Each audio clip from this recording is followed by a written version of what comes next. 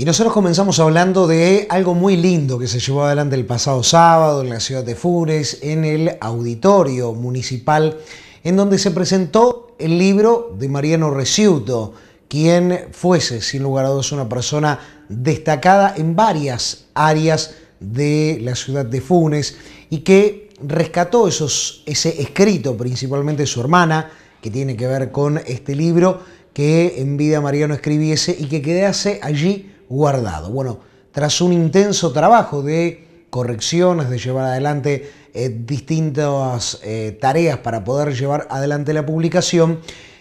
el pasado sábado, que se recuerda un nuevo aniversario de su muerte, se presentaba en la ciudad de Funes El Niño y el Árbol, el libro de Mariano Resuto que tiene justamente ilustraciones realizadas por Raúl Guerra. Nosotros sabíamos que, Mariano estaba escribiendo un libro. Lo que se me presentó fue el libro en mi escritorio cuando no sé cómo llegó, porque yo lo había llevado en un pendrive para compartirlo con mis nenas, y una de mis nenas había escrito un libro también a raíz de la inspiración del, tío, eh, La niña y su perro, y él también lo había podido leer y había estado muy emocionado con eso también, con saber lo que podía pasar, ¿no? Cuando alguien leyera su libro. Pero mm, lo que sí fue es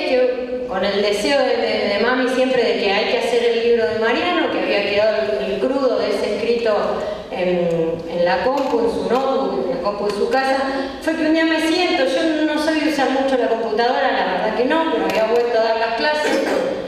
y abro y encuentro el libro y dije, bueno, esto es una señal de que llegó el momento, de que hay que hacerlo. Entonces el paso que siguió fue hablarlo a Raúl, que ya lo había hablado Mariano seguramente en muchas oportunidades. Y del primer momento dijo, sí, obvio, amiga, vamos a darle para adelante, como no. Y después siguió pedirle a Vani, y a lo mejor fue mucho, porque otra guerrera, otra fuerte, otra genia, que se puso ahí, a lo mejor en un momento donde no era el adecuado, a tener que releer esas páginas,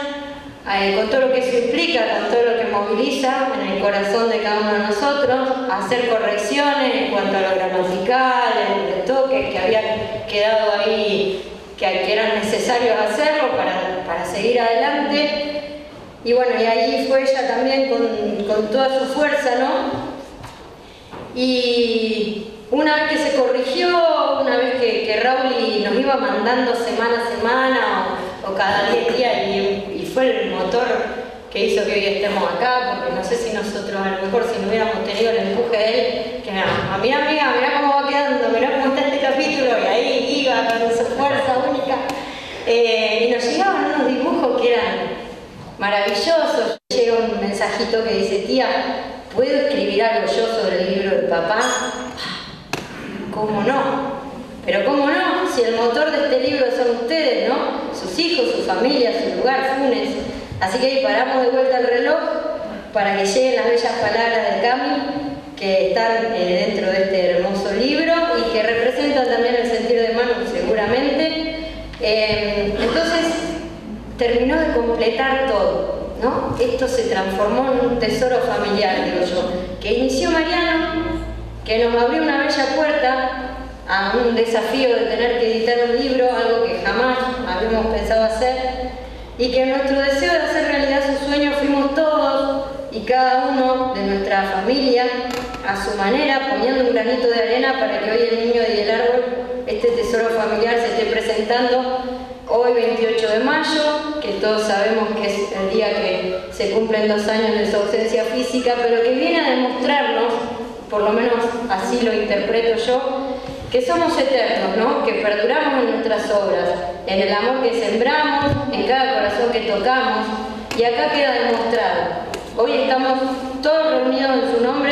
homenajeándolo como se merece, sintiendo que nuestros corazones estallan ante una mezcla tremenda de emociones que se nos entrecruzan.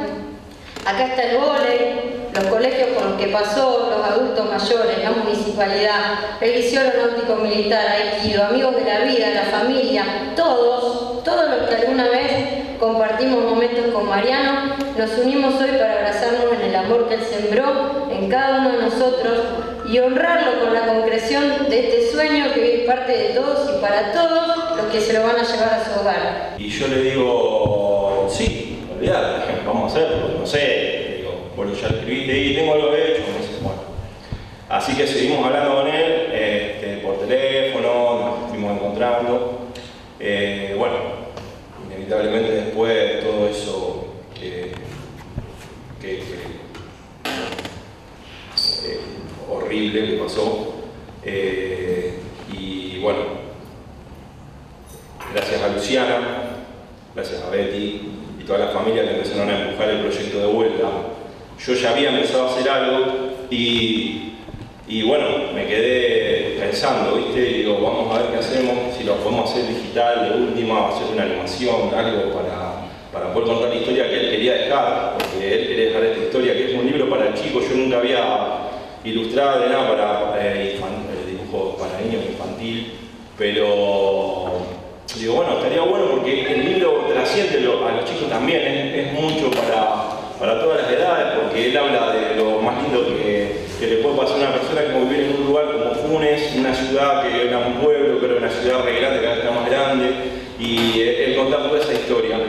Eh, así que, bueno, digo, vamos a hacer Luciana, empezamos los dos, así que si hay una persona acá que, que hizo posible esto es ella, que se puso al hombro eh, junto con Betty a hacer todo esto y bueno, obviamente yo iba tratando de mostrarle los diseños para ver si le gustaban. Eh, fue re lindo el proceso y la verdad que fue una experiencia hermosa que se termina hoy con esta, esta presentación hermosa